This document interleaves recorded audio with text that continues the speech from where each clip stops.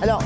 en fait, l'idée, c'était de trouver de nouvelles activités euh, pour le comité d'entreprise, activités qui seraient euh, autre chose que la proposition de voyage, euh, d'épicerie, parce que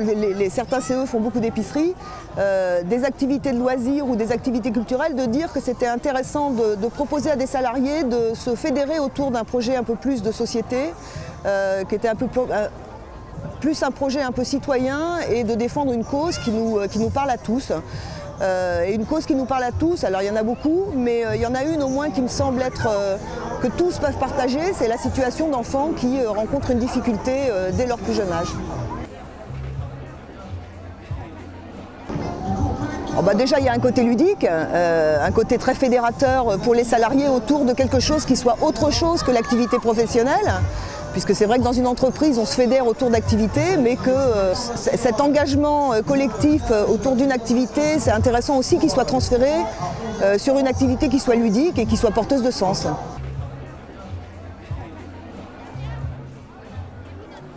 Le but d'un comité entreprise, c'est la promotion des activités sociales et culturelles et que dans dans social, il y a euh, société. Ça fait partie des choses que doit promouvoir l'engagement citoyen, ça fait partie des choses que, doit ou que peut promouvoir un comité d'entreprise dans le cadre de son rôle euh, social et culturel. Alors rendez-vous en 2017, un rendez-vous qui sera probablement euh, de plus grande ampleur puisque maintenant on connaît la course des héros. à ce titre, je voudrais quand même féliciter les deux chargés de mission, Pandora et Sandy, qui ont beaucoup travaillé pour nous faciliter les choses. On ne l'aurait probablement pas fait si euh, elles n'avaient pas été là l'une et l'autre. L'une pour nous préparer un peu les, argumentaires et l'autre pour accompagner euh, la logistique. Oui, rendez-vous en 2017 dans un format sans doute plus important puisque je pense que les 21 collaborateurs euh, des 100 salariés de l'UNEDIC qui se sont engagés aujourd'hui vont parler bah, du bonheur de, de, cet événement, en tout cas que procure cet événement, de l'importance qu'il peut avoir pour la FAO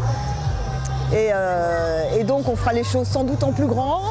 euh, plus facilement et puis euh, avec sans doute on anticipera davantage avec la FAO de façon à ce que la collecte notamment soit, soit plus importante.